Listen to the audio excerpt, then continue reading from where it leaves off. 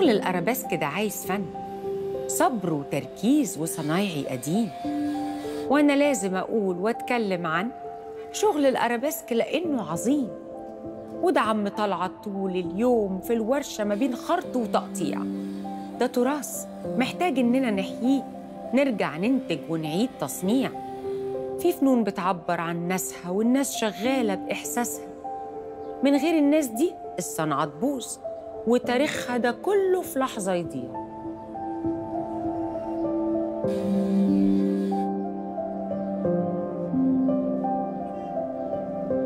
ازيك يا عم طلعت؟ انت عامله إيه؟ ورشتك جميلة يا عم طلعت. انت أجمل. كلها فن كده في الشارع. لا انت تحت امرك في أي حاجة. انت جيت المنطقة دي إمتى يا عم طلعت؟ 92 92 جيت امبابة. آه. قبل كده كنت فين؟ باب الشعرية ودرب الأحمر و... جمالية. ترب- متربيت في باب الشعرية. اللي هي بقى أصول ورش اللي بيسموه الأرابيسك ده؟ آه، اشتغلنا فيها سنين يعني. بس أنت ما أيام الانتريات العربي والشغل الفخم ده. أنت ما بتسميهوش ما بتسميهوش أرابيسك زي الاسم لا المتعارف عليه. أرابيسك. اسمه إيه؟ اسمه الخرط العربي. الخرط العربي. آه. أو خرط المشربيات. مشربيه ليه؟ ها. لأن ده ظهر في العهد الفاطمي لما كان كل بيوتهم كانوا بيزينوها بالمشربيات. مم. ده مش. بس زينة هي كمان تفتح وتقفل الشبابيك أيوه يعني كان الشبابيك قبل الشيش والإزاز والكلام ده كان صح. الشغل الصحي التهوية الناس تبص على اللي تحت اللي فوق تحت ما يشوفهاش كده آه، كده آه شراعات تفتح وتقفل المشربيات اللي هي اللي إحنا بنشوفها في البيوت الأثرية حاليا يعني أيوه جميلة جدا جدا طبعا. يعني هو ده اللي هواك من الأول أنا دخلت ورشة مم. كانت فيها حوالي أكتر من خمسة خراطين عيني في الورشة مع الصناعية وبشوف ده بيعمل إيه وده بيعمل. بعد ما يمشوا الصناعية كنت أقف على المكنة أبدأ أركب الحتة وأبدأ أدور كانت بتبقى مرحلة أولى بالنسبة لأي حد بيشتغل في الخرط العربي مم. ما ما ما خفتش من المكنة عم عم طلعت وأنت صغير والمكنة بتركب فيها كده وبتلف كده؟ كان كان الأسطى بتاعي يقول لي خليك حريص. أنت اللي سايق المكنة مش المكنة اللي سايقاك. مظبوط. أنت اللي سايق العدة أو ماسك العدة مش العده اللي ماسكاك انت اللي بتشكل بإيدك مش العدة اللي بتشكل. واسطواتك دماغك عينيك تركيزك. لأن المهنه دي؟ تركيز واعصاب الشغل العربي بالذات أو الخرط العربي تركيز واعصاب لأن بص الحتة صغيرة إزاي؟ تركيز هنا مم. هنا. يعني ده بيشغل دي ودي بتشغل إيدك. ولادك اسمهم إيه يا عم طلعت معايا رائد معايا بنتي الكبيره إيمان معايا رائد. ومعايا إبراهيم ومعايا فارس. ما شاء الله الله أكبر. وإيمان اتعلمت وكبيرة. واتجوزت كمان. واتجوزت. وال... والصبيان علمت الكبار ها؟ علمت الكبار كلهم. حتى فارس أصغر واحد في يعني هو بيتعلم ونفس الوقت بيلعب رياضة وفي نفس الوقت معاه فلوس إزاي عرفت يا عم طلعت تسرسب العيال كده إن هم يحبوا المهنة بالذات في سن المراهقة؟ آه، اولا اولا آه. أنا كنت مصاحبهم قوي ماشي حلو قوي ومعايا والدتهم ب... معايا بتحببهم في المهنة. ليه؟ جميل. لأن دي هي المصدر ال... ال... يعني ممكن أقول لوحدي طبعا. ولكن مصدر من مصدر من مصادر رزقنا إحنا. طبعا. فلازم نهتم بيه عشان نعرف طبعا هي مربية. عيالها من الصنعة دي. فبن بن بن ف- بقدر الإمكان اننا يعني لازم تكون هادي مع ابنك وما تشدش عليه قوي ما تشدش عليه. ولو عايز تحببه في صنعة طبطب عليه كده وتعالى إيه رأيك في دي شمال يمين لو أنت حابب إن هو عايز يزوغ منك حاول معاه مرة واثنين وثلاثه ما زهقتش من المناهدة يعني. لا لا لا لا. أصل سن 14 سنة ده المناهدة فيه كتير النهارده ابني 28 سنة مثلا واللي تحت منه في الجيش خدمة وطنية. فاضل له آخر أجازة ليه دي عشان يرجع الورشة تاني. رائد بقى 28 ده بقى قسط خلاص. اسطى من زمان هو مكاني. عم طلعت أنت الورشة اللي إحنا قصادها دي دي ورشة الخراطة؟ دي للخرط. عندك ورشة تانية مثلا بتعمل فيها نجارة أو عندي بتجمع؟ الناحية الثانية آه. دي بنجمع فيها الشغل آه، برواز مشربية.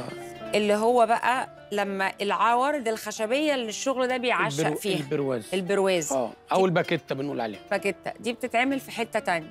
دي إحنا عندنا هنا جوه. آه، مكان مخصص لتجميع ولم الشغل ال- النجارة زي ما لكن هنا المخرطة. هنا مخرطة بس جميل. مخصص عشان ما لخبطش كله على كله. اللي هو الفن بقى.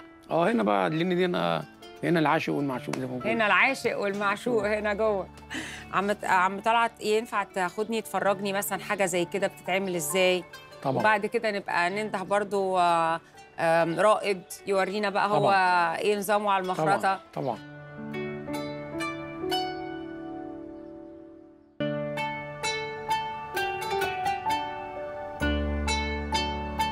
الخرط العربي أو الأرابيسك واحد من الفنون الأصيلة اللي اتميزت بيها الحضارة العربية الإسلامية. بيرجع أصلها لأكتر من ألف سنة وبيعتبر الأرابيسك فن وصناعة في نفس الوقت. وده لأنه بيعتمد على ذوق الفنان الفطري.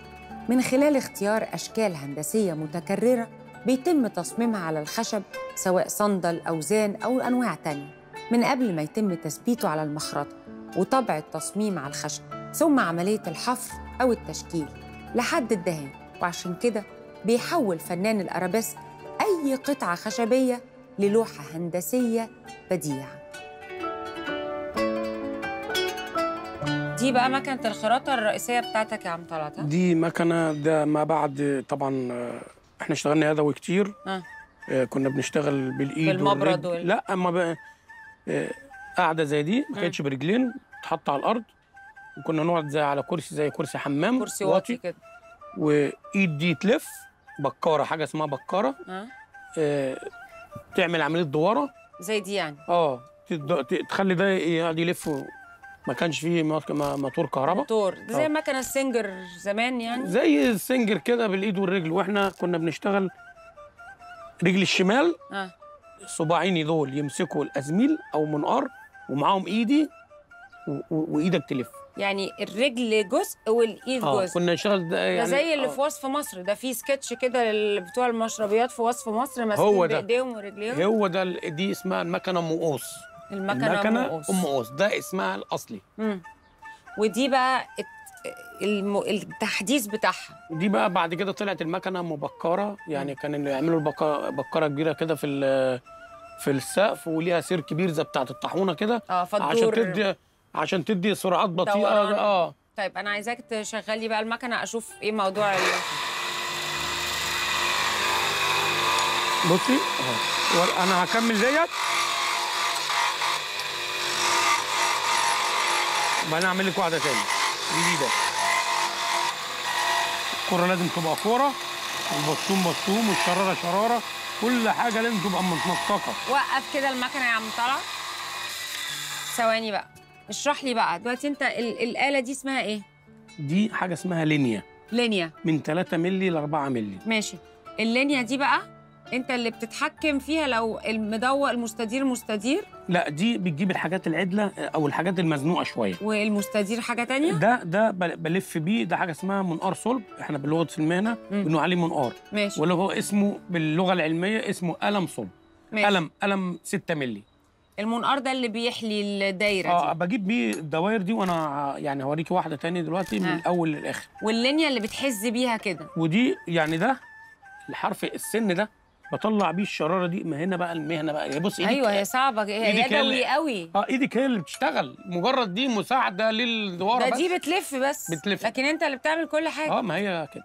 ماشي. فطبعا أنا راكب واحدة تاني يلا. والله أنا معجبة قوي بشخصيتك يا عم طلعت الله يبارك. فتح الله عليك. استمر.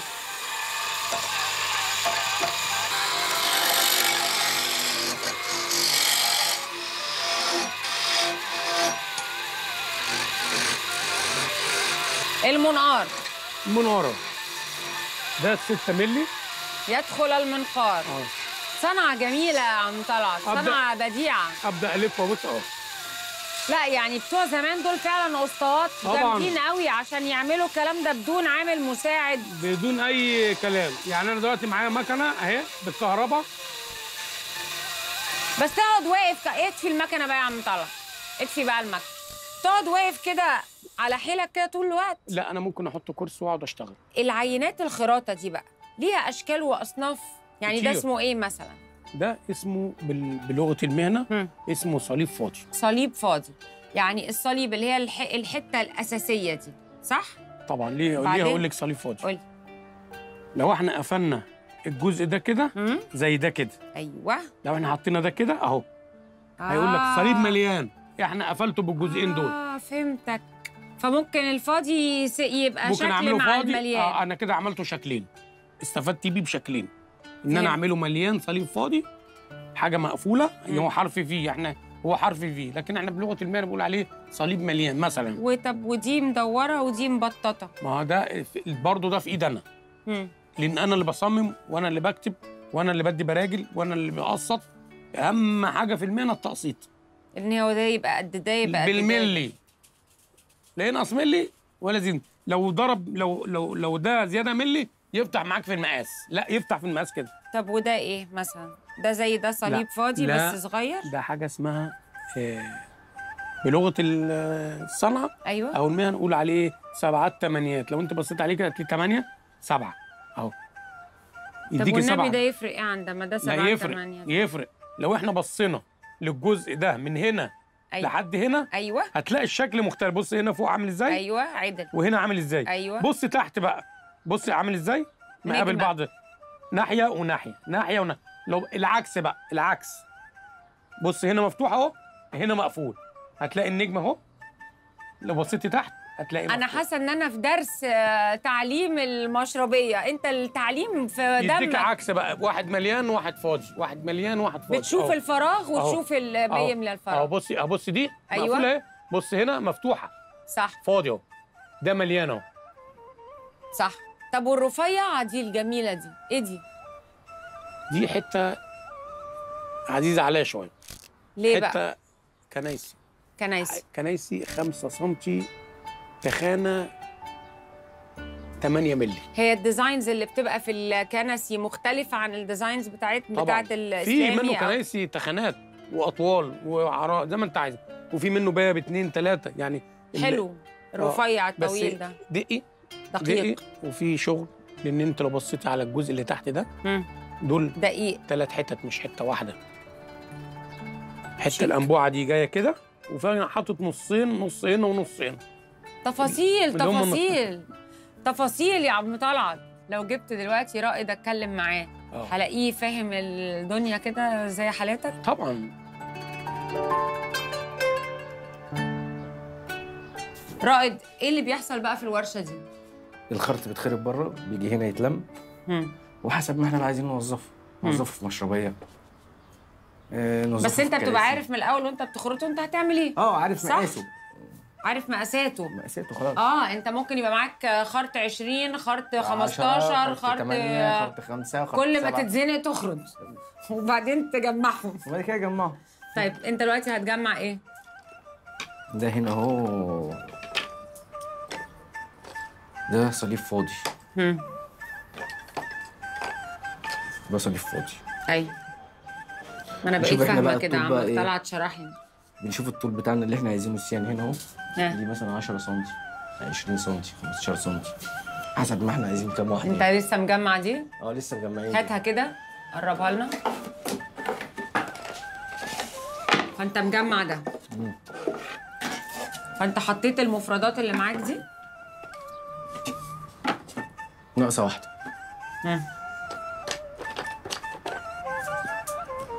نقعد بقى إيه؟ ها طب ومين اللي يعمل. بقى الباكيتات دي؟ دي الباكيتات دي إحنا بن- بنجهزها. وبنقعد نقطع بقى المقاسات اللي إحنا عايزينها حسب الطول. يعني أنتوا اللي بتعملوها برضو مش آه نجار لا مثلا. لا مش نجار. طب والمكنة دي بتعمل إيه يا رائد؟ دي بنقطع بقى العيدان دي.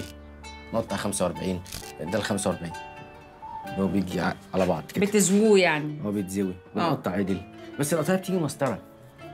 طب اسمع اسمع. أنا بقى منبهرة بالبتوع دول. فعلا احكي لي حكاية القطعة دي. ليها عدة مخصوص. يعني دي ماشي اخرطها آه. وأعملها بقلب و... هي الحاجة أم اللي اختارها أنت عملت إيه؟ عملنا عدة ليها. عملت عدة مخصوص عشان تعمل بتاعة دي، الستارة آه. دي. آه. طب أنا عايزه أعرف دي ده إيه كمان؟ دي أنا الموضوع ده مجنني. دي كلها كانت نماذج ساتين مش دي حتة خشب واحدة؟ حتة خشبه واحدة. إزاي ط... إزاي كده؟ برضه ليها عدة مخصوص. ما هو قلنا قلنا الحاجة أم الاختراع مش عايز يقول ماشي. لا هي الحاجة أم ال- خلاص. هو المفروض إن العدة بتاعتنا العادية المنقار والضفرة والشوكة. العدة العادية والازميل دي ع- عدة أي خراط بتزيد عليها عدة القص. الأزميل بيختلف بشكل مختلف والضفرة بتختلف بشكل مختلف. فأنت بتخترع حاجات فإحنا أدوات خلق تانية؟ أدوات تانية عدة تانية بشكل مختلف تانية تساعد معايا إن أنا أطلع دي. ها. بس. بس طبعا كان طلع روحنا. نفسك لنفسك إيه ونفسك إخواتك يطلعوا إزاي؟ لا أخواتي يطلعوا أحسن مني. الاحسن هم يطلعوا؟ ونفسك لروحك في إيه؟ لا اخ تمام أنا كده أنا زي الفل. أنا أنت- وصلت اللي أنا عايزه خلاص. انت برنس فعلا. أنا وصلت اللي أنا عايزه. والله العظيم برنس برنس. و... وابوك والست والدتك دول بجد عرفوا يربوا. الله يكرمك. يعني غير ان هم صنايعية مية مية هم بني ادمين كده. ع- ده رضا. ده رضا كرم قوي. من عند لا ربنا. لا كرم قوي. آه. يلا تعالى وديني بقى عند باباك عند نسلم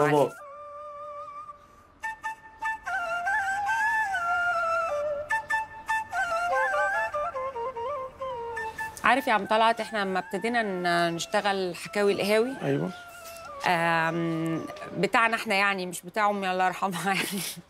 وإحنا بندور ماما على حبيبتنا. آه طبعا يعني كنا طبعا. بنستناها ونتفرج عليها طبعا. كلنا كلنا. يا- من ساعة بقى ما ابتدينا وإحنا بندور على الناس اللي زيك يا أستاذ والله العظيم.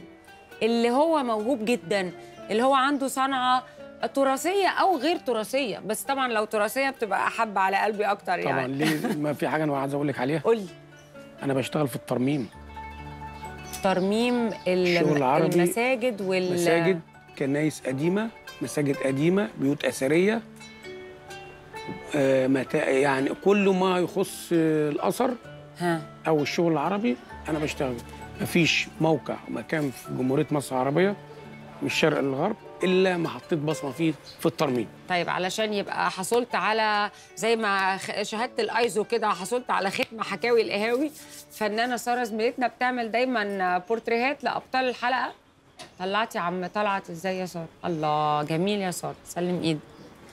اتفضل يا عم طلعت. شكرا يا سارة. اتفضل يا عم طلعت. إن شاء الله يكون عجبك. إن شاء الله ده زي الفل. وبعدين دي فنانة يعني. زميلة. دي فنانة زميلة. انت تشتغل خراطه معايا ميرسي يا عم طلعت. تحت أمرك صباحك زي الفل. شكرا جزيلا. تحت أمرك يا أستاذ.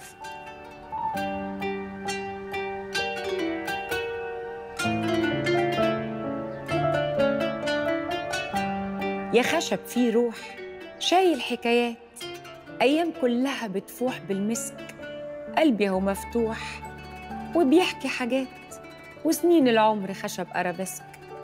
يا زمن بتدور وتفرق ناس وتجمع ناس من بعد الشوق. شوف مهما تغيب اللقا ده نصيب وقلوب الناس عاشق معشوق العمر يفوت ولا حب يموت ولا حتى الدنيا تغيرنا راجعين راجعين وهنملى العين مع بعض نكمل مشوارنا.